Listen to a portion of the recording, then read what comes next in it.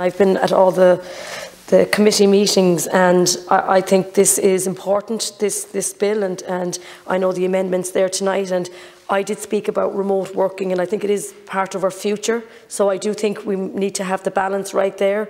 Um, I also asked you about the two, two years review. I think that's important, Minister, that we clarify that because while I raised the issue at committee that it, is vitally important that business owners are brought along on this journey with this legislation, it's hugely important that an employee who needs the time can access that time, but that the business owner is not also losing out because that would not be good for the working relationship. I welcome that there is an obligation on employers to facilitate this. Work-life balance brings the most benefits when the options are available, which suits the organisa organisation's needs and those of the employ employees. And the reason I'm saying this here tonight is, while this is really important, this work-life balance, we are here at 10 o'clock on a Wednesday night. I know our time has been extended. There was an extra few hours put on today. Um, but I think we need to lead by example uh, Minister. And I just think it is important that, you know, that, that we get this legislation through. But I also think it's important that we ourselves are examples of how we go, go forward. And again, We've had lots of committee meetings on this. I want to welcome that. And I just want to ask you again, I'm just going back to the two years review of exactly what will happen in, within the two years. What is the plan to go forward? And maybe you could come back to us with that information. And thank you, Minister. Ceann Comhairle and, and, thanks to the deputies for their contributions. I think, uh, you know, deputies have spoken about the, the, the, process, both in terms of the work we've done uh, through committee on the original Work-Life Balance Directive and, of course, the, the work that's been done on the uh, Right to Remote Working Bill. And I'm aware that a very detailed PLS process was undertaken and a detailed PLS report was, was published. I think just in terms of the amendments being brought forward today, we are implementing the recommendations of the PLS report.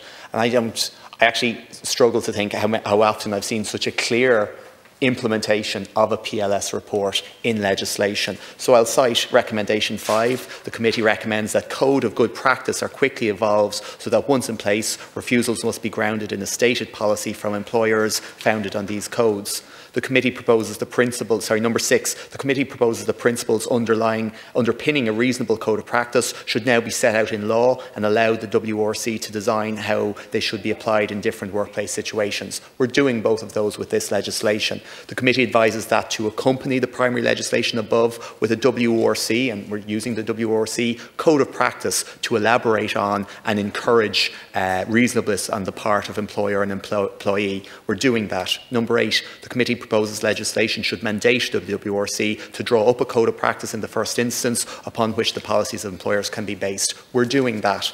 And finally, the committee proposes that the legislation should align with the general scheme of a work-life balance and miscellaneous provisions bill. We're doing that. We are implementing the recommendations brought forward from the PLS on remote working and implementing it again in a way that, you know, you know, We've had discussions, Deputy Funchion, in terms of how much of a PLS has gone into a piece of legislation. I really think a lot of this PLS has gone into that, this piece of legislation. So I think it's just maybe worth, worth, worth setting that out at the start.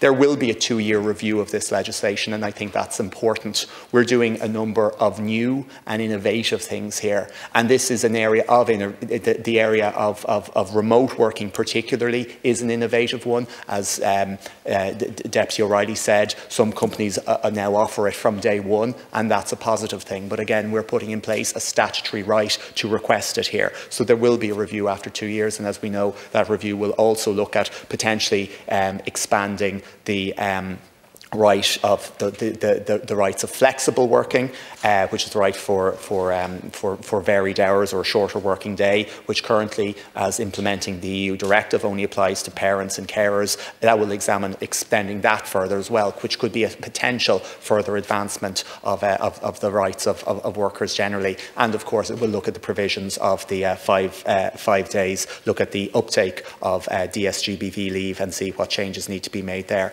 So just wanted to make those as, as, as, a general point. In terms of the uh, in, in, in, in, terms of the six months, the six months uh, within which uh, uh, the, the, the right to request gets its statutory basis, that allows an assessment in terms of the uh, needs of the work of the employer and the needs of the employee. It may not be automatically uh, uh, available in every workplace from day one for a full understanding of can a right to uh, can a request for remote working meet the needs of both the employer and the employee. It's also important to remember that the uh, right can be granted after six months, but that doesn't stop an employee uh, applying for it earlier. As we know, there's a, a, a number of weeks of, a, uh, of an application uh, process in which their application is judged. That can happen before the six-month period of time, but the actual ability to take up the right kicks in after the, uh, after the six-month uh, period of, of, of, of time.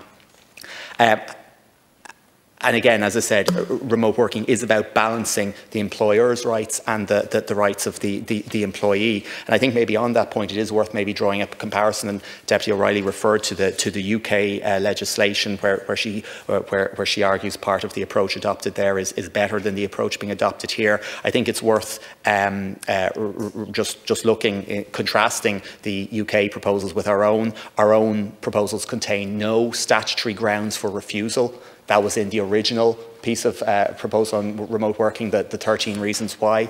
Um, now we have no statutory grounds for refusal, unlike in the UK legislation where they've eight statutory grounds of refusal.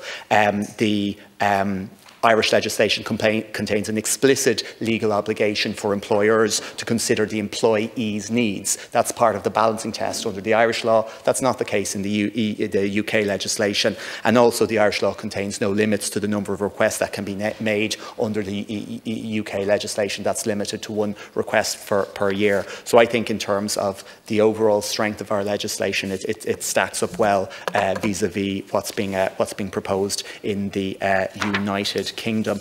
In terms then of some of the uh, other specific, uh, specific points that were made, the definitions that uh, Deputy O'Reilly spoke about, so the uh, reasonable adverse, uh, substantial adverse effect and the reasonable grounds, both of those will be fleshed out within that code of con conduct that we've discussed earlier on that will be brought forward by the Workplace uh, Relations Commission.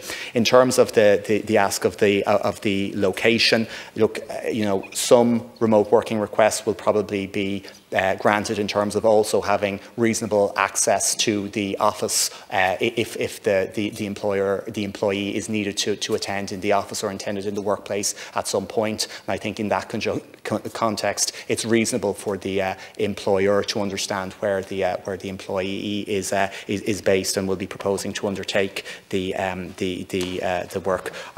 in terms then just of the exclusions, and again, I suppose this has to be understood in terms of what this is. This is a right to request. We're not, it's, it's not a statutory right to remote working. We, we, look, we recognise that. It is a right to, to request. Um, and um, as we know, not all occupations, not all industries or, or, particular roles within an enterprise will be suitable or appropriate for remote, uh, remote working. Uh, and, and, as such, there has to be some element of, a, of an exclusion provision in there. But again, that is something that can be looked at in that two-year review that, uh, that, that we spoke about earlier on.